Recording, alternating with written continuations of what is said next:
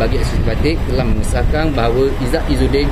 telah habis menjalani praktikal di eksekutif batik